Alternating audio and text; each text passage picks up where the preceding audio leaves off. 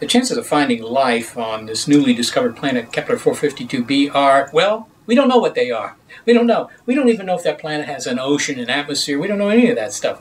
All we know is that it's a little bigger than the Earth, you know, 60% bigger than the Earth. We know that it has a year that's 385 days. Our planet has a year of 365 days, so it's about the same. It's going around a star that's like the Sun. We know all that. That's it. That's all we know. We think it's probably a rocky planet like the Earth is, so, you know, that's good. But beyond that, we don't know. So what are the odds that it has life? I don't know. I'll just guess. 1 in 10. But that's a guess. That's just me, and it's very hard to know.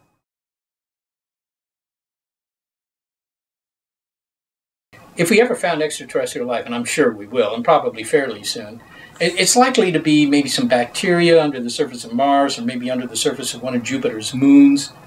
And if you could actually get to it and bring some of it back so you could study it, then the first thing you do is you say, well, what, what about it, uh, Bob? Does it have DNA?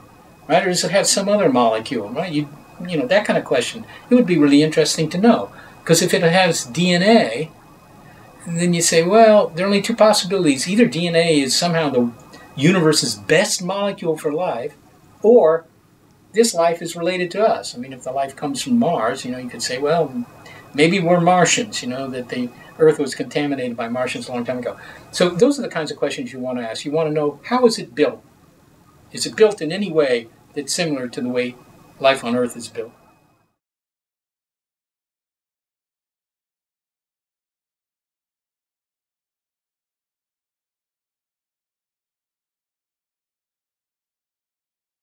Just about every day somebody calls me up and says, "Hey, uh, you guys shouldn't be looking for ET because Stephen Hawking said it might be dangerous." Really? Actually, what Stephen Hawking was saying was not that it was dangerous to hear a signal from ET, but to transmit anything to ET. Because if you transmit something into the sky, somebody might, you know, find that signal. Somebody aggressive. They, they now know where you are. They know you're here, and maybe they, they send some sort of rocket ship to Earth and blow you away or something this is you know the sort of the friendly view of aliens. I don't worry about that because if you're going to worry about that, then you should worry about the fact we've been broadcasting into space since the Second World War. Uh, signals, mostly radar, but also television, FM radio. These are all signals that are going out into space, and any society that's potentially dangerous would be able to pick up those signals. So we've already been telling them about our presence here. So I don't worry too much about that. And even Stephen Hawking would be the first one to champion the idea of listening to prove that somebody's out there.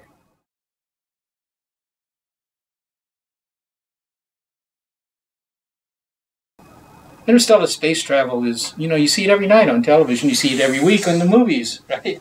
Because otherwise you wouldn't have a story. Now, the facts are that our spacecraft go at about mm, 10 kilometers a second. Some of them go a little faster, 15 kilometers a second. If that's the speed at which you're going, to go to the nearest other star, Alpha Centauri, would take you 75,000 years. That's a long trip. So you can say, yeah, but it's possible, isn't it? Of course it's possible. If you want to sit in a middle seat for 75,000 years eating peanuts, it's possible. But if you say, look, I want to get there faster, then you have to build a much faster rocket. And if you were uh, an advanced society, I mean, you could probably build a faster rocket. I'm, I'm sure that's possible.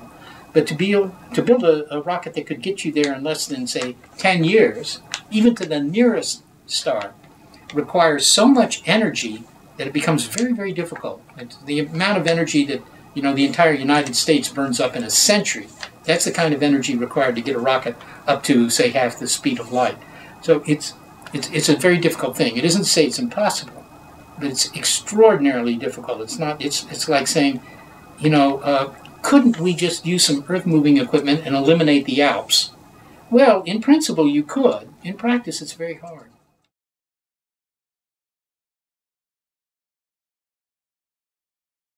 Another possibility, of course, would be to send uh, rockets where you have a thousand people on board, men, women, and you know they, they have children. They, and, and, and of course they don't make it, but you know a hundred thousand years later somebody arrives.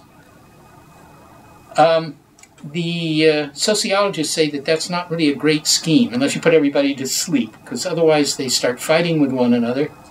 And uh, they uh, very quickly, after two generations, they don't even remember what the mission is about. They don't have the skills that the people who got on board the rocket have.